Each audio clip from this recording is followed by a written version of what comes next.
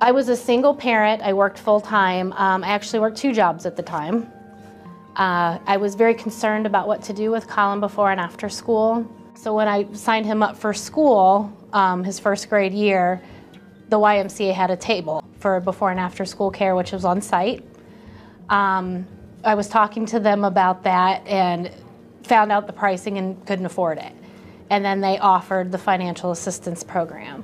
I filled out the forms um, and, and was accepted for some financial assistance. And it was very comforting going to work every day knowing that he was safe and he was learning and he was in an environment with other children.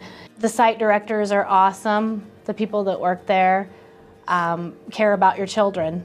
And it also has given him a chance to attend Camp Potawatomi. This will be his fourth year because um, without it, we couldn't afford it.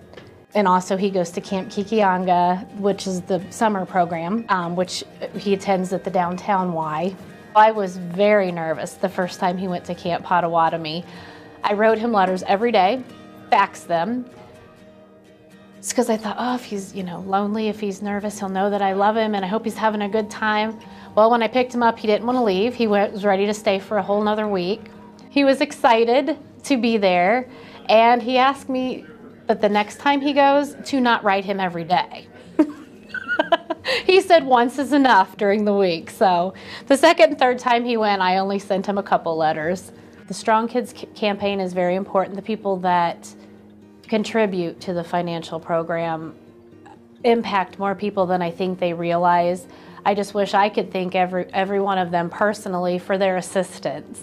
It has really helped Colin and I more than they will ever know and it is we appreciate it so much. The biggest change I saw in Colin was his ability to make friends. He would go up to children and, and speak to them first, which was which was a nice change. Um, he is definitely an outgoing child now, and a lot of that I think we have to thank the Y for.